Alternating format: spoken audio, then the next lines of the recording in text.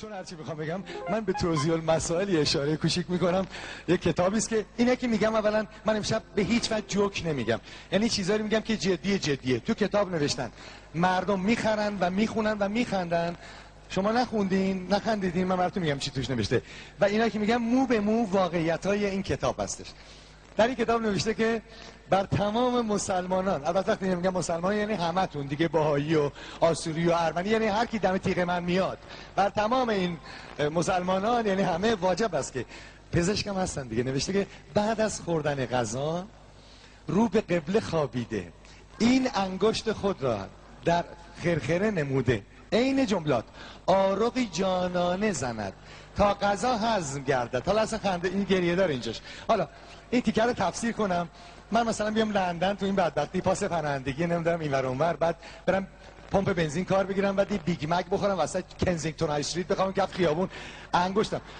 بکنم تو گلوم آروغ بزنم جانانه که غذام هضم شه اون چیزی که ما بعد این روزا می‌خوریم مثلا خود به خود هضم شده قبلا.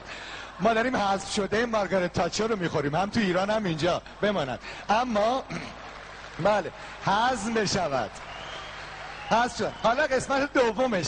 حالا داستانیست نوشته که بر هر مسلمانی واجب است. بعد از غذای حاجت. اصلا بیگ مک خوردن غذای حاجت نداره. کی اصلا بعد از غذای حاجت این انگشت. مسلمونا اون بالا بگم. این مال گلوتونه ها. عوضی نکنین ستون دین خراب میشه رو سرتون. این انگشتو در روز چندین بار به خود نموده تا تطهیر کامل شود. حالا گوش کنیم. اولا که چرا این انگشت کوچولو مال گلو این انگشت کلوب مال اونجای آدم؟ ما این نفهمیدیم. یک خدا پدر مادرشون بمرزه. تو این کتاب اینا غیر از میده و پایین چیز دیگه نیست. دستورات دینی آسمانی همش اینجا و اونجا. حالا بماند. بعد دوازده جا در اسلام برای عشق بازی حرامه. یک زیر درخت میوه. قشنگترین جاست برای عشق بازی. پرسیدم به یک کسی گفتم که آقا جان چرا حروم زیر درخت میوه چرا حرومه؟ گفتش که ممکنه سیب بیفته اونجا امام بشکنه مثلا. نه یه بار درست شده باشه سیبه بیفته بشکنه. چهل و دو جا برای اشبازی حلال است در کتاب نوشته. یک پشت کوهان شطور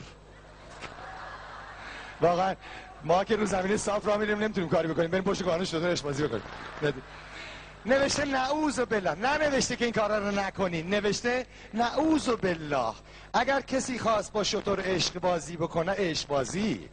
لب شطور بگیرم بگم عزیزم. عشق بازی. عشق بازی کند. چهار چیز باید حلال باشه. یک میخی که شطور را با آن زمین میخوب می‌کنن دو تناب گردن شطور به میخ. سه از میخ شروع میشه پایین ترین شطور از میخ شروع میشه. سوم ت... چیشی نردبونی که می‌زنی از شطور بریم بالا. چهارم چهار طبقه از این امر مستثنا هستن. چه سبز ها دیوانه ها شعرا و آدمی که باعث خنده مردم میشه. الحمدلله من مستثنا هستم از اشبازی با شطور. حالا حالا که نمیشه با شطور کسی اینجا از خیالی داره آخه من نمی‌فهمم. این کتاب کتاب دینیه. خب چرا توش نمیسن با دختر همسایتون عریسی کنین خیلی خودتون راحت کنیم. شطور میخ طویله سوزن لخ نردبون بخرم که بغل شطور بخوابم. تازه نوشته که اگر نعوذ بالله شخصی خاص یعنی خودشون چون می‌کنن آدم کارهایی رو که می‌کنه میندیسه چرا من نمیگم که اشبازی به خرچیه بلکه نمی‌دونم چیه. نعوذ بالله اگر شخص مسلمانی خاص با اولاغ اشبازی بکند لازم است که روز بعد اولاغ را به چل کیلومتری برده بفروشد. مثلا من توی لندن با یه اولاغ اشبازی کنم. اولاغ سوار اتوبوس دو طبقه کنم برم 40 کیلومتری کجا برم؟ آب کور آبی است. سه وجب. در سه وجب در سه وجب. حالا مثلا زیر شیر آب دستم بشورم چه ایراد داره؟ نه. آب کور سه وجبی تو انگلیس آب سه وجبی. هیچ چیشی سه وجبی است که آب سه وجبی باشه. حالا بعد نوشته که بر مسلمان واجب است. واجب است. اول یک مشت از آن آب ببوید. میگم به روح خواهرم عین این کتاب. ببینید چه بر سرتون اومده. شما هنوز نمی‌دونید بر مسلمان واجب است. یک مشت از آن آب ببوید. اگر بوی ادرار نداد یک قلوب از آن آب میل بفرمایید. مثل ما یه شاش خوردیم. مثلا می‌دونیم مزه ادرار چه اگر مزه ادرار نداد من چه می‌دونم مزه ادرار چه جوریه؟ می‌خوام بگم شما که امام هستین بخوریم به ما بگی که مزه ادرار میاد. نه چرا من باید چاش بخورم که مسلمان باشم؟ چرا؟ اگر مزه ادرار نداد بعد اون آب آب کور من می‌تونم برم باش نماز بخونم. بنده بو کردم بوی مثلا کریستیان دیور داد. خوردم مزه شاش داد. خب چیکار کنم؟ شاش بخورم که مسلمان چرا؟ آخه چه دینی که همش با پایین دهن و معده کار داره. همش شاش نمی‌دونم سوراخ فلان و سوراخ فلان.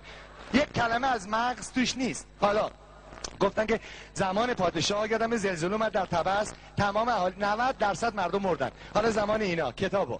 اگر زلزله حادث شد یعنی چیز مهمی هم نیست. شد زلزله حادث شد. مثلا ممکنه فقط یه میلیون بمیرن. مهم نیست. اگر زلزله حادث شد شخصی در طبقه دوم خوابیده بود. مثلا شخص هفتاد ساله. امه آن شخص در طبقه اول خوابیده بود. امه شخص هفتاد ساله چند سال است. سر ده ساله. حالا زمان شاه زلزله میاد مردم دنبال کفش و کلاه و شلوارشون بودن تنشون هم بودن برن تو خیابون. حالا زمان اینا. اگر بر اثر تکانهای ناشی از زلزله آن شخص به روی امه خود افتاد طفلی که از این جریان ها دست می‌شود حلال زده است. کی تو زلزله رو امش میفته بچه دار میشه. آخه این چه دینیه که آدم بغل امش میخوابه؟ مگه میشه؟ حالا کی تو زلزله اون حالت تحریک جنسی رو داره که صاف بیفته رو امش بچم درست بکنه. چی چی اینا گفتن که دادستان کل انقلاب گفته اگه از این مرتی که از این حرفا بزنه میکشیمش. گفتن دادستان کل انقلاب خودش در اثر تکانهای ناشی از زلزله به دنیا آمده. که شخصی به روی امش افتاده دادستان کل انقلاب به دنیا آمده. این حرفا چی چیه؟ مگه میشه خونه داره رو سرم خراب میشه؟ من بیفتم رو عمم بگم اخ جون قربونت برم عمه. این داستان زندگی ماست. خیلی خوب میرقصم عزیزم. ها ببین من برای ملتم میرقصم. آره عزیزم. برای که به جان برای ملتم به جشم وای میسم سینما سپر می‌کنم. شما تو لوژاتون میشونین قربان. نوشته که گوش کنین. نوشته که خداوند تبارک و تعالی دوازده نوع از حیوانات رو که اول انسان بودن تب... به خاطر فساد اخلاق فساد تبدیل به حیوان کرده. نوشته که یک خرگوش زنی بوده است که پنهان از انظار یعنی یواشکی زنا می‌کرده. یعنی یواشکی خیانت می‌کرده شوهرش بابا گوش کنی چی چی نوشته؟ نوشته که غذای حاجت در, زم... در زمین قصبی جایز نیست. یعنی اگه شما واقعا وسط خیامون رفتین غذای حاجت حالا اسمشون غذای ناراحت معدتون بودین باید اول قواله خونه یارو رو ببینیم بعد برین توشون کارو بکنی در کوچه بنبست جایز نیست. سر چهارای کنزیکتون جایزه. این کتاب اخلاقی است که به دست بچه هفت ساله ایرانی دادن. بهش میگن اینو بخون و طبق این رفتار بکن. البته جواب خمینی اینه که هر مولوی گفته هر چه می‌گویم به قدر فهم توست مردم من در حسرت فهم درست. این جواب این آخوند است. اما اما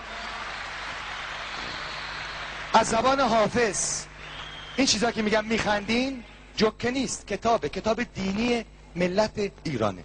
جوک نیست گریه داره ولی خب ما میخندیم. اما حافظ یک شعر داره که جواب اینا رو در چندین صد سال قبل داده. حافظ می‌گوید نفس باد سبا این جواب مردم ایران هست به خمینی. نفس باد سبا مشک فشان خواهد شد. عالم پیر دگر باره جوان خواهد شد. ارغوان جام عقیقی به سمن خواهد داد. چشم نرگس به شقایق نگران خواهد شد. این تطاول یعنی درد رنج این تطاول که کشید از غم هجران بلبل تا سراپرده گل نعر زنان خواهد شد. این جواب حافظ جواب فرهنگ ایرانه و جواب مردم ایران مثل شما که با برگزاری سنت های ملیشون و بدون تشویش از این روزینامه ها و اعلامیه ها و غیر و ذالک ملیتمون رو برای ما چی مونده؟ ما چه جور می‌تونیم ایران رو حفظ بکنیم؟ وقتی دستمون بهش نمی‌رسه وقتی دست وزارت خارجه انگلستان پیش خم... پشت خمینیه من چطور می‌تونم دست اونها رو از پشت خمینی بردارم؟ فقط با زنده نگاه داشتن سنت های ملیمون می... یک روزی ملت ما آزاد میشه و این روز زیاد دور نیست. انگلیس ها هم نمی‌تونن زیاد خمینی ها رو نگه بدارن. فرهنگ همیشه غالب میشه بر زور و ستم و قلدری. فرهنگ ایران هزاران سال غالب شده. بر چنگیز مغول غالب شده. اینها کی هستند که فرهنگ ایران بر اینها غالب نشه؟ بعضی ها هنوز نشستن میگن که ایشالله امریکایی ها چراغ سبز میدن. ما هم میریم ایران. امریکایی ها چراغ سبز دادن ما رو بیرون کردن از کشورمون. ما هنوز نمی‌خوایم واقعیت ها رو قبول بکنیم. امریکایی ها چراغ سبز دادن که روح الله خمینی بر جان و مال و ناموس من و شما غالب بشه. انگلیس ها هم به اونها کمک کردن. طراحشون هم همینا بودن تو همین لندن. ولی فرهنگ حافظ سعدی مولوی یک روزی باعث میشند این فرهنگ باعث میشه که خمینی ساقط بشه و فرهنگ بر ایران غالب بشه. مثل هزاران بار که این مسئله در تاریخ ما پیش آمده. از زبان مولوی یه چیز دیگه رو شما میگم. مولوی می‌گوید نگفتمت مرا آنجا که آشنات منم. در این سرای فنا چشمه حیات منم. وگر به قهر روی صد هزار بار ز من به عاقبت به منایی که انتهات منم. انتهای ما ایران پرچم شیر و خورشید فرهنگ و ملت ایرانه.